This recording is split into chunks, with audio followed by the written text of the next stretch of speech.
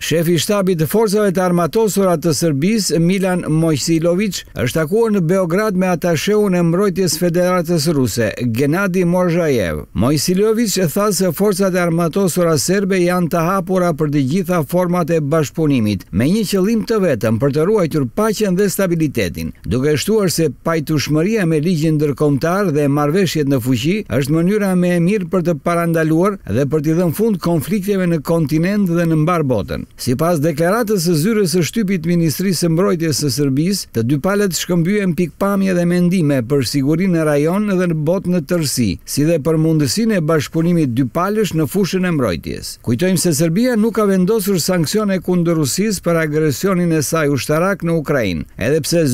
ka deklaruar se është një vend kandidat për në Bashkimin Evropian. Ajo ka injoruar të gjitha paralajmërimet nga perndimi dhe është i vetmi i vend në Evropë përveç Bielorus Rusis, që ka refuzuar të vendosë sankcionin ndaj Rusis për shkak të lidhjeve të saj tradicionale. është gjithashtu i vetmi vende Europian, që vazhdon të nënshkruaj marrëveshje bashkëpunimi me Moskën në shkur të këti viti, Serbia mori një pjesë tërgese armësh nga aleati saj Rusia. Shumica e deklaratave kërcënuese të Vučićit janë të drejtuara kundër Kosovës. Ai gjithashtu angazhohet në retorik përçarse kundër Bosnjës dhe Hercegovinës, ndërsa presidenti nacionalist i Republikës Srpska Milorad Dodik, i cili mbështetet nga Vučić dhe kisha ortodokse serbe, vazhdimisht po përpiqet të prish stabilitetin në Bosnjë Hercegovinë dhe rajon dhe të minojë marrëveshjen e Daytonit.